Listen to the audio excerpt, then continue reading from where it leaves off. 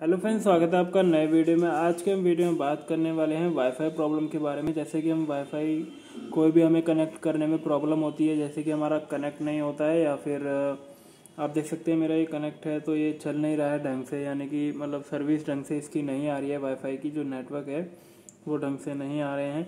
तो आज हम उसके बारे में आपको बताने वाले हैं। तो चलिए फ्रेंड्स, वीडियो को शुरू करते हैं। वीडियो को शुरू करने से पहले अगर आप चैनल पर नए हैं तो चैनल को सब्सक्राइब और वीडियो को लाइक कर दीजिए। फ्रेंड जैसे कि आप देख सकते हैं, मेरे पास ये रेडमी का फ़ोन है रेडमी नाइन ए और सबसे पहले हमें जाना होगा सेटिंग पर। तो सेटिंग पर जाते ही आपको इस तरीके का ये आइकन दिखाएगा और आप देख सकते हैं, यहाँ पर आपको दिखा रहा है कनेक्टिंग शेयरिंग तो हमें कनेक्टिंग शेयरिंग सेटिंग पर जाना है। यहाँ पर आते ही आपको इस तरीके का ये आइकन दिखाएगा और हमें इसे ऊपर की साइड स्क्रॉल कर लेना है। और यहाँ पर आप देख सकते हैं, यहाँ पर आपको दिखा रहा है reset wifi mobile network and Bluetooth तो हम इस पर क्लिक करेंगे। क्लिक करते ही आप देख सकते हैं, यहाँ पर आपको वाईफाई नज़र आ रहा है।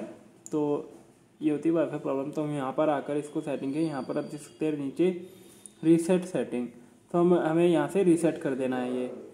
रीसेट में जैसे ही आप क्लिक करेंगे तो ओके पर आपको क्लिक कर देना है फ्रेंड्स ओके पर क्लिक करते ही आप देख सकते हैं ये हमारा रीसेट हो गया, यानी कि ये अब जो हमारी प्रॉब्लम है वाईफाई की, वो हैव बीन सेटिंग तो अब जो हमारी प्रॉब्लम है वो वाईफाई की सॉल्व हो जाएगी।